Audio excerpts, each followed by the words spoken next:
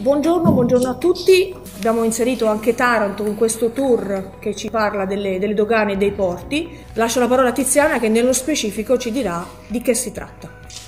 Eh, grazie a Rosa, grazie a voi per essere, per essere qui. Eh, la commissione principale in cui sto lavorando è la Commissione Commercio Internazionale abbiamo evidenziato come i porti oggi ehm, abbiano tantissime difficoltà eh, in Italia. Sto parlando del fatto che eh, chiaramente la, la, politica commerciale è una prerogativa esclusiva del, del, dell'Unione Europea e c'è un'unione doganale eh, e analizzando le statistiche si vede che ci sono porti che vengono preferiti rispetto ad altri.